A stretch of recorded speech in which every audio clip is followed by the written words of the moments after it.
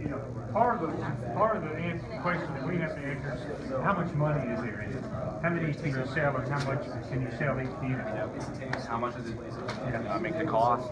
That's right, uh, you know, what, what will the market pay? So that's kind of our next step. Uh, and then working on the patent and all of that kind of stuff. And this is a good incremental step. Oh, man, this is great, this, this is, this is. Enter the world. This is mid, midway between